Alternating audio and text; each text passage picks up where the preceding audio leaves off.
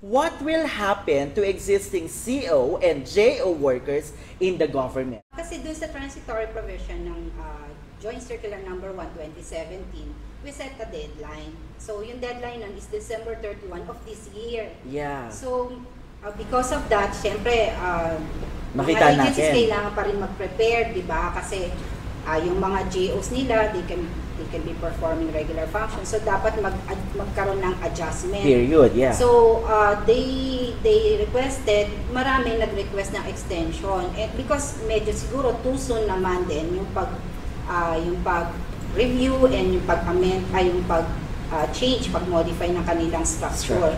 So, parang na, na, ah, na-appreciate naman yon ng CSC, DBM, and the COA such that dun sa, sa Joint Circular Number 1, series of 2018 nga yung sinabi mo, um, in-extend po yung deadline.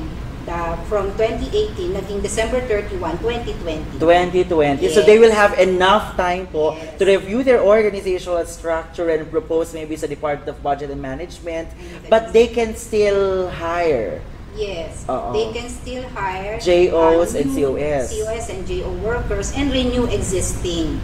Ah, kasi syempre meron na nga yung mga existing. Pwede nila yung i-renew kasi na, na, na naririnig namin marami ng agencies na gusto na mag-terminate ng mga Yeah. existing eh madami ito. So para naman to be, to give them time din. So kay ah yun, pwede na silang mag ano mag-extend or mag-renew ng mga existing contracts. Opo, but currently yung mga JOs natin at mga COS na meron ng contract prior to the issuance of this joint circular, hindi pa sila covered. Yeah.